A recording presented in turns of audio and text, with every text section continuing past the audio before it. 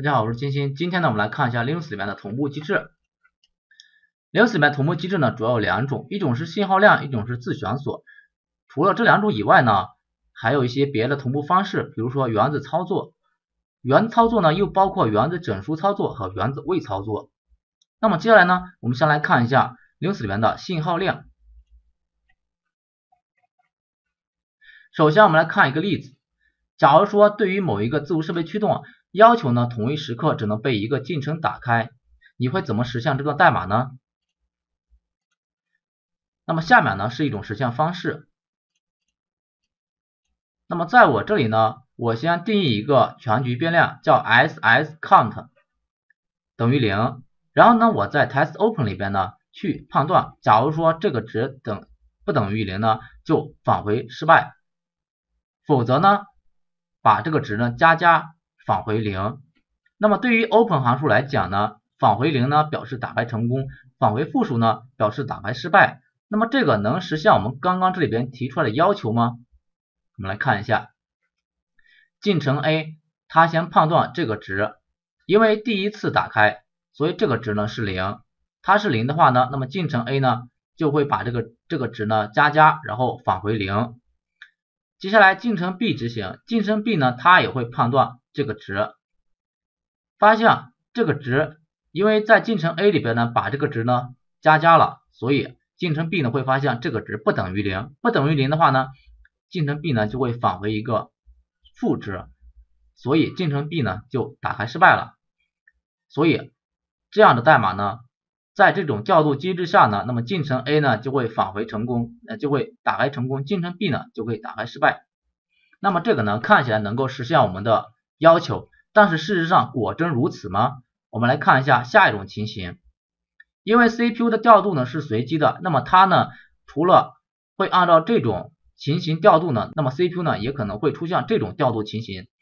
首先呢，进程 A 去判断它的值，因为第一次打开这个值呢是零，所以进程 A 呢只是做了一个判断，然后呢。CPU 呢调度到进程 B 去执行，进程 B 呢同样去判断这个值，发现这个值是零，因为进程 A 呢它只是判断，它没有做加加的动作，所以在这里边进程 B 呢它也会判断，发现这个值呢还是零。接下来的话呢，进程 A 调度执行，进程 A 呢把这个值加加返回零啊，到此为止，进程 A 打开成功。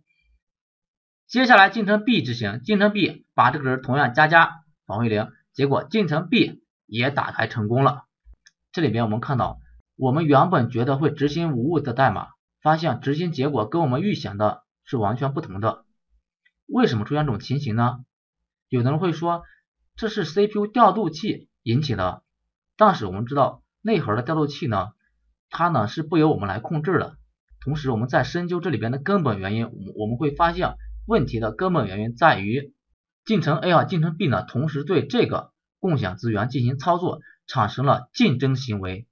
产生竞争行为的一个后果是什么呢？产生竞争行为的后果就是进程 A 跟进程 B 对这个共享资源的访问都不是完整的。既然不是完整的，那么就会导致代码呢不会按照我们预想的结果去运行。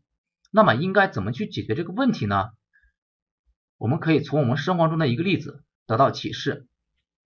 想象一下，你正在上厕所的时候。一个美女闯进来的情形吧，但是事实上我们不会发生这样的情形，为什么呢？因为当你在上厕所啊，这里边这个厕所呢就是一个共享资源，A 会用到，B 也会用到。那么在现实生活中，当你在使用公共厕所的时候呢，你会先进去，然后把这个门反锁，把这个门反锁呢，就表示你对这个共享资源有独占的权利，你暂时有独占的权利。当你使用完成以后呢，你才会把它解锁，然后出来让让给另一个人去用这个厕所。所以在我们现实生活中的例子呢，就不会出现我们上面的情形。因为什么呢？我们为这个厕所这个共享资源加锁，你加锁的话呢，就避免了 A 和 B 的一个竞争行为。就是说，你加锁以后呢，B 呢是没有办法打断你对这个厕所这个共享资源的使用的。所以呢，你就可以做到，你使用完成以后，这个 B 呢，它才会使用这个共享资源。所以生活中的这个例子给我们的启示就是，我们要想无序有序的使用厕所，那么就需要为厕所这个共享资源呢加锁，这样呢就避免了 A 和 B 的竞争行为。所以我们从这里边得到启示，那么我们就知道我们上面这个问题该怎么解决了。那么解决方法呢也很简单，就是保证对共享资源的互斥访问。什么是互斥访问呢？这里边的互斥访问就是说，一个执行单元在访问共享资源的时候，其他的执行单元呢被禁止访问。以上面厕所的例子为例，一个人在访问厕在用厕所的时候，其他人是不是用不了呢？那么这个就是互斥访问。那么要想做到互斥访问，在我们的现实生活中呢很简单，就给厕所上个锁就行了。但是呢，在我们的代码里面怎么做呢？要做到互知访问呢，首先呢，我们需要去了解一个概念，叫临界区。什么叫临界区呢？访问共享资源的代码区块呢，叫临界区。访问共享资源的代码区块叫临界区。所以你要了解临界区呢，你首先呢要了解什么是共享资源。在我们这个例子里边，两个进程呢都对这个变量进行了访问，所以呢这个变量呢就是。共享资源，那么对共享资源的访问共享资源的代码区块呢，就是临界区。因为这段代码呢，它是访问了这个共享资源嘛，访问了这个变量，所以这段代码呢就是临界区。所以到现在为止的话呢，我们这个临界区的概念呢就了解清楚了。那么如何做到互知访问呢？那么要做到互斥访问呢？临界区呢需要以某种互斥机制加以保护，那么怎么保护呢？在内核里边呢有两种方式，一种是自选锁，一种呢是信号链。所以到现在为止，我们总结一下，要想保证对共享资源的互斥访问，互斥访问，那么我们第一个呢，先要找到共享资源是什么，然后呢，我们再确定临界区是什么，接下来的话呢。我们就需要给这段临界区代码呢去加锁，加锁呢你可以用自选锁，也可以用信号链，这个就是我们的解决同步问题的两种方式。那么首先我们来看一下信号链，我们如何用信号量解决如上问题呢？我们先来了解一下信号链的使用方式。Linux 里面的信号量是一种睡眠锁，假如说进程 A 呢先持有信号量 F 啊。然后进程 B 呢，试图获得已经被进程 A 持有的信号量的时候，假如说这个信号量 F 代表的资源值是一，因为只有一个资源，我们就假设只有一个资源，那么进程 A 它先持有信号量，那么进程 A 呢，它可以持有它，因为我们有一个资源嘛。然后进程 B 呢，假如说试图获得已经被进程 A 持有的信号量的时候，因为进程 A 已经持有了，那么进程 B 呢？它就不能持有了。那么这个时候呢，进程信号量呢就会把这个进程 B 呢推入等的等待队列，然后呢让它睡眠。当持有信号量的进程 A 把释信信号量 F 释放以后呢，进程 B 才会被唤醒，从而获得这个信号量，继续执行进程 B 的代码。这个是信号量的一个简单的使用方式。那么信号量的睡眠属性，因为假如说这个 B 呢，它得不到信号量的时候呢，它就会睡眠啊，所以信号量呢是会引起睡眠的。信号量的睡眠属性呢，使得信号量适用于锁会被长时间持有的情况。然后信号量呢，它只能在进程中使用，不能在中断中使用。那么接下来我们来我们来看一下这个信号量怎么来使用。那在 Linux 内核里边呢，每一个信号量呢，它是用呃 struct 这样一个结构体来描述来描述。那么它的初始化函数呢是这个函数，这个函数里边呢，它第一个参数呢是一个这个呃信号量的这个结构体的指针，第二个呢是一个值，那么这个值呢就表示资源值，这个什么意思呢？因为共享资源呢有可能只有一个，也有可能呢只有有三个，比如说这个公共厕所它有可能有一个，也可以有三个，那么这个一个还是三个，这个呢就是共享资源的数量。所以这里边的这个 var 呢，就是你需要根据共享资源的数量呢来决定这个值是多少。除了信号量之外呢，还有一个内核里边非常常用的一个信号量叫互斥信号量，也叫互斥锁。那么什么叫互斥呢？互斥呢，无非就是什么呢？就是你有我没有，我有你没有。所以这里边的互斥呢，就表示只有一个资源的信号量。那么对于这种互斥信号量呢，它的初始化函数呢是这个函数，这个函数呢其实就是这个函数初始化的，它的值呢等于零一，表示一个资源的信号量。那么对于只有一个资源的信号量来讲呢，我得到了这个资源，那么你就得不到这个资源，你得到，那么我就得不到，它是互斥的，所以叫互斥信号量。那么怎么样得到信号量呢？得到信号量呢是用 down 这个函数，这个函数呢适用于获得信号量。假如说当前信号量已经被什么呢？已经被持有了，那么它会导致当前进程的睡眠，所以它不能用于中断上下文。这个 down interrupt 呢，它是什么？它是一种，它是另一个版本的这个 down 函数，它的跟这个函数的使用方法呢，基本差不多。不同之处在于说，这个因为 down 这个函数而进入睡眠中的进程呢，不能被信号打断，而这个函数进到睡眠状态的进程呢，可以被信号打断，被信号打断。信号就是我们应用程序里边的 signal，所以这里边的话呢，区别就在于说，一个能被信号打断，一个呢不能被信号打断。这个 down try lock 呢，表示尝试获得信号量，如果能够获得呢，立即返回，否则呢，它就返回零值，它不会导致调用者睡眠，所以它跟这个的方式呢，这个呢是比较比较执着的，它呢会一直等，一直等，然后睡眠，这个呢它不会，它就去尝试一下，假如说你这个信号量我能够持有，那么我就持有。你要不能持有，那么就算了，我就直接返回来，我是不会睡眠的啊。所以这个这三个函数的话呢，都是用于获取信号量，它们呢适用于不同的上下文和不同的环境中。那么释放信号量呢，都是 up 函数，这个这个函数呢会唤醒会唤醒等待者。好，这个是信号量的使用方式。那么有了信号量呢，我们来看一下这个信号量能够解决我们之前的问题吗？好，使用信号量之后呢，我们之前的例子呢可以。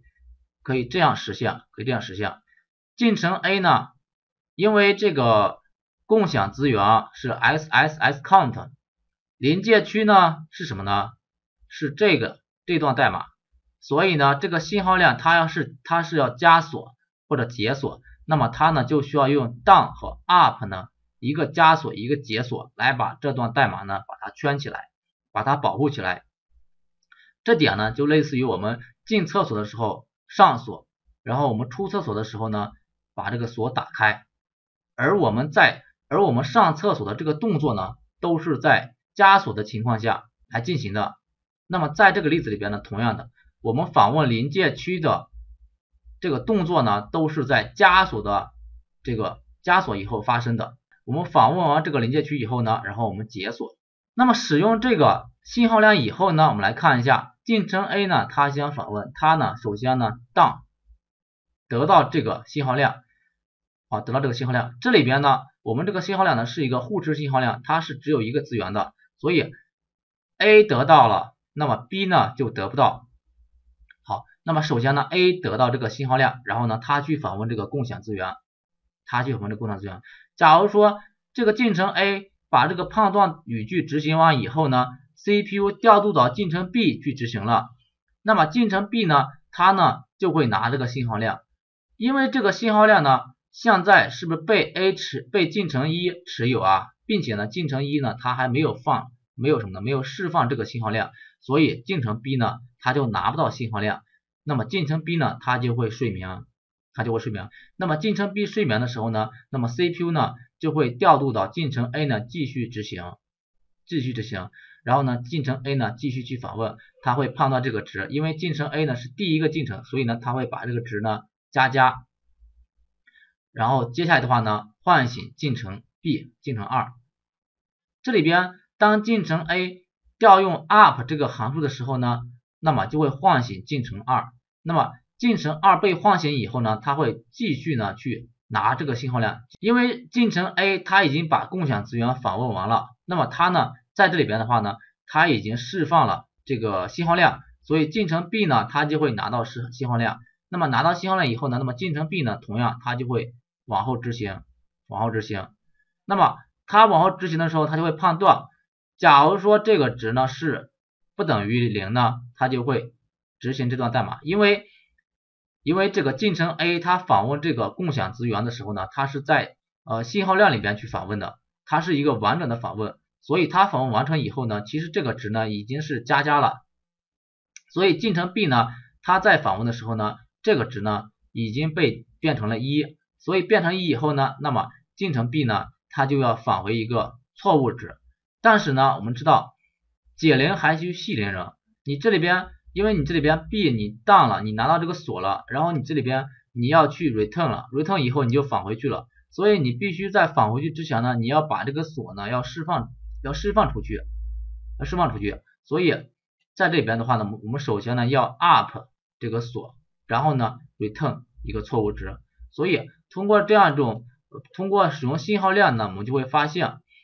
这样的话呢，A 跟 B 呢，它对共享资源的访问呢都是完整的，都是完整的。A 在访问共享资源的时候呢，那么 B 呢是没有办法打断的。这样的话呢，就会保证 A 对共享资源的访问和 B 对共享资源的访问呢都是完整的。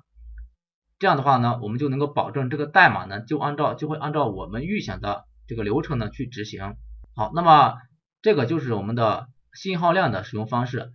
那么我们来看一下。我们的具体的实现例子，我们的驱动代码是怎么实现的？好，我们这里边要使用的时候呢，我们首先呢要定义一个这样一个结构体，它呢就表示信号量的结构体。然后呢，我们在我们在这个驱动的初始化函数里边呢，我们去初始化这个信号量，我们把它初始化成一，初始化成一呢就表示是一个互斥信号量，互斥信号量。对于互斥信号量来讲呢，就是。只能被一个进程被一个执行单元使用，那么我使用了，你就不能再使用了。然后呢，我们在 open 函数里边呢，对这个共享资源，对这个临界区呢加锁，用锁把它保护起来。然后呢，我们同样的，我们在 release 的时候呢，我们在 close 的时候呢，再把这个共享资源呢，把它也是保护起来，也是保护起来。通过这样的代码呢，我们就能够实现我们在前面例子里边的。这样一个目的，同一时刻只能被一个进程打开。用用了我们的信号量以后呢，这种情形呢就不会发生了，因为我们用这个信号量把进程 A 它里面的临界区保护起来了。保护起来以后呢，那么对于这段代码呢，它要么都执行，要么都不执行。这个就是我们的信号量。我们来总结一下这个信号量它的使用注意事项。第一个呢，它可以长期加锁，长期加锁，因为它呢。适用于进程上下文，因为我们前面的例子我们也看到了，它适用于进程中的，所以呢它是可以长期加锁的，因为进程呢大不了睡眠就行了啊。第二个呢是只能用于进程上下文，对，它只能用在进程上下文，不能用在中段上下文。第三个呢是在持有自选锁的同时呢不能持有信号量，那么这一点呢我们在后面讲这个自选锁的时候呢还会讲到。好，那么这个就是我们的信号量的使用方式。